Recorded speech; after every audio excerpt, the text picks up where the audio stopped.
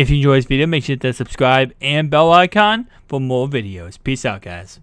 Hey guys, I'm Lucky. We're back here for video, guys. Today, what I want to talk about is going to be MUT Master, and it's going to be should you grind for MUT Master and try to be try to get it done right away, or should you wait and kind of just let it come naturally based on you you know you're just playing the game and randomly it happens because you know you hit all these achievements as you're playing the game.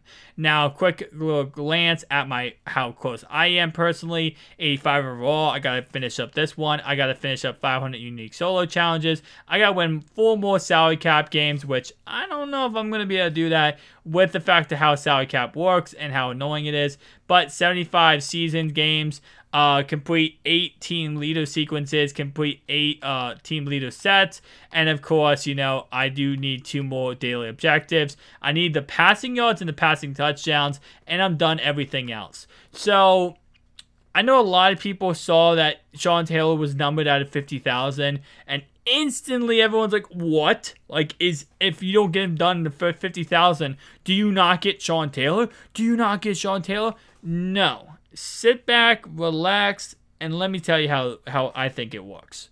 I'm just gonna say how I think it works. But how I think how I think they're doing it is it's not that if you're you know not the first fifty thousand, you're out of luck, kiddo. Sorry you didn't get Sean Taylor. No, it's kind of like for bragging purposes. You know, like say, hey, look, I was in the first 50,000 to get this card done. And it encourages people to go ahead and get done MUT Master and try to grind and try to be the first 50,000. So, I do not think it has anything to do with, you know, how much Sean Taylor's are going to be, you know, achievable, are going to be out there. I think it's 100% strictly just comes down to, you know, like, okay, uh, you are one of the first 50,000 people to complete MUT Master. So, to answer that question, I know a lot of people saw that and was like, what? Is that like only 50,000 people? No, everyone will get Sean Taylor, but only 50,000 people will get a numbered version so that it looks like, you know, you say, hey, I was this number completed uh, MUT Master. Now, if you're now, should you go for MUT Master right away?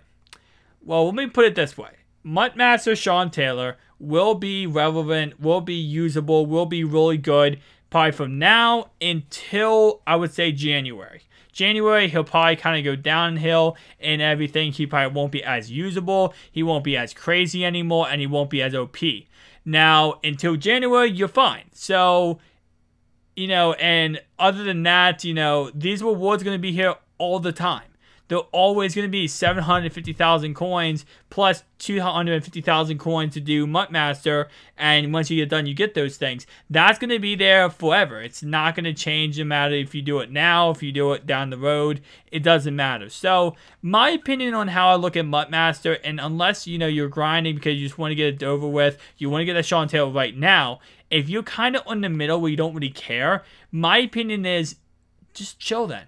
You know, just it's gonna come eventually, right? It's gonna happen eventually. You're gonna get all this stuff done for Mass Adventure. Eventually, you're gonna get 80 or 800 passing touchdowns because you're gonna play solo challenges. Eventually, you'll hit that goal, or maybe you play online and you hit that goal. You're gonna eventually get 80,000 passing yards. You're eventually gonna get 25,000 rushing yards.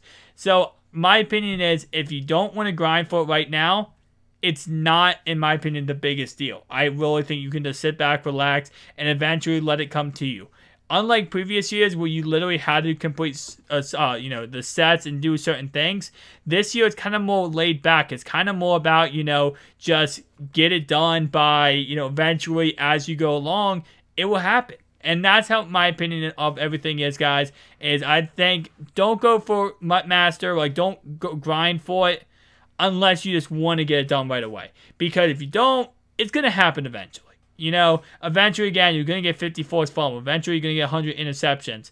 And my opinion is if you, unless you're hardcore trying to get him right now, it's going to happen eventually. Just let, you know, let everything kind of like take its course uh, when it comes to, you know, you getting done the objectives. So I know a lot of people, again, I just wanted to clear up in this video Sean Taylor is numbered at 50,000, but I do not think it's because of the fact that there's only 50,000 Sean Taylors.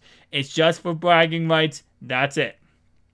MUT Master, if you want to grind it out right now, go ahead and do it. But my opinion is if you know, if you're like on the fence if you should do it or not, just chill and relax. Sean Taylor is going to be usable until uh, January of next year, and these coins and all this kind of stuff is going to be here forever. Going to be here until August of next year, so you're fine. If you want to do MUT Master, go ahead and do it, but don't feel like you're pressured to do it because everyone else is getting it done. And that's kind of what the boat I was in. Well, I kind of felt like I was pressured because uh, you know everyone else is getting it done now, and I'm like, oh, I gotta do it too, I gotta do it too. But reality's sake, just take your time, have fun, enjoy the game. If you pressure yourself into getting this stuff done, you're going to overwork yourself and it's just going to be annoying and you're not going to have fun playing the game. So thank you guys for watching. If you enjoyed this video, make sure to like button, subscribe channel if you're new. See you guys in the next one. Peace out.